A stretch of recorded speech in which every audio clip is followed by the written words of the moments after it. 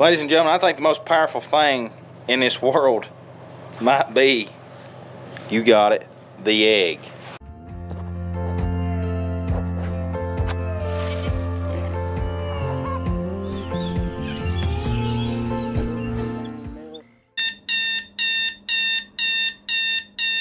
Day four of the Winter Farm Vlog. Let's go!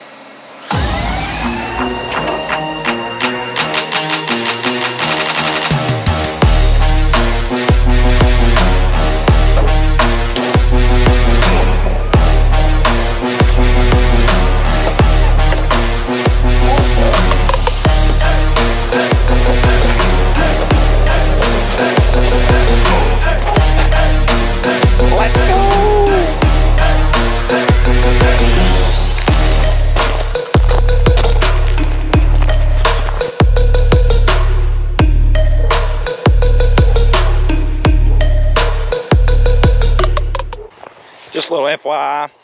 No, I don't work at FedEx. They just make a really good jacket. We're gonna feed some hay this morning and um, we're gonna make sure everybody's good, collect some eggs, feed some dogs, do all the normal stuff.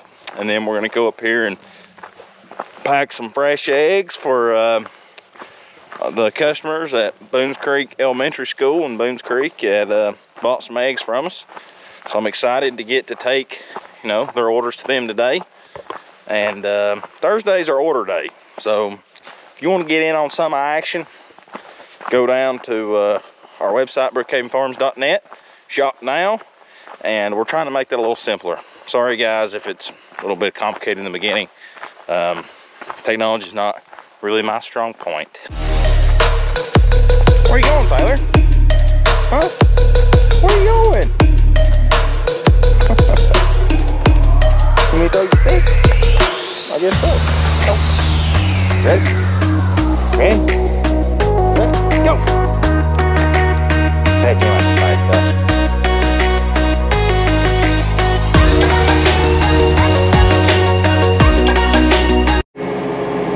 Quote of the day, quote of the day. I want your actions to speak so loud I can't hear what you say. Boom!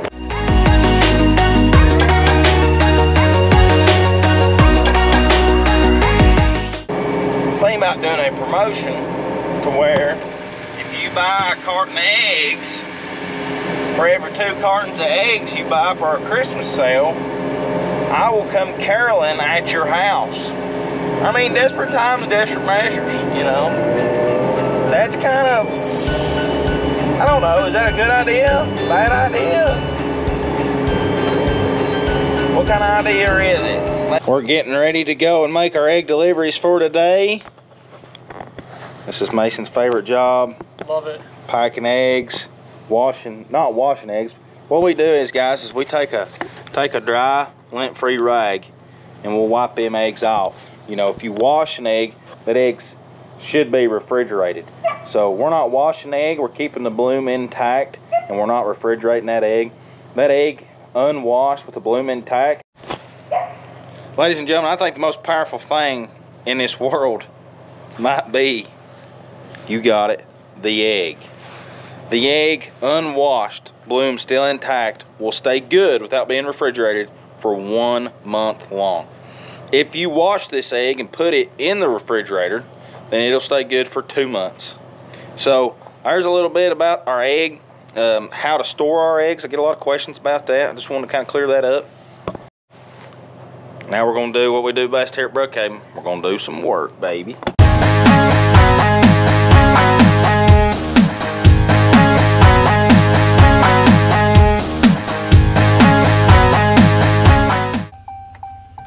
Alright guys, I'm gonna get in the truck here and we're gonna go deliver some eggs. Are you kidding me? You just can't make your stuff up, man. Golly. I got her plumb fired up now, boys. Let them go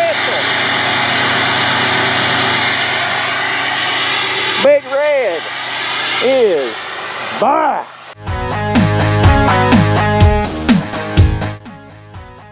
Made it to the school to drop off some eggs to some of the real hungry teachers. So uh, I'm not sure if they'll let me film in the school, but if they do, I'll show you my mom and some of the teachers and we might interview somebody.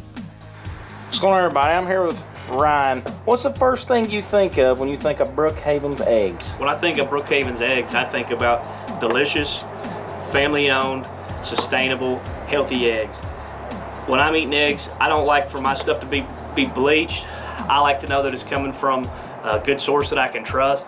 I've known Jake and his family for a while now, and I know that, that they don't put harsh chemicals down on their land.